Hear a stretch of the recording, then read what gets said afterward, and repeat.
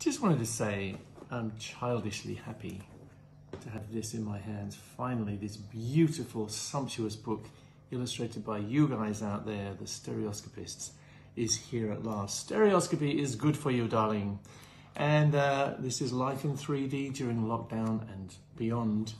And I can't tell you how happy I am because I think this puts contemporary stereoscopy on the map, finally.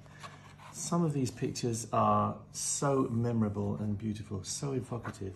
Each one has words from the photographer, and we spent months and months on this, but boy was it worth it because I think everything that you see in here will, will create a response in you. This is something I'm immensely proud of. I think it stands beside all the books that we've ever done uh, for the London Stereoscopic Company.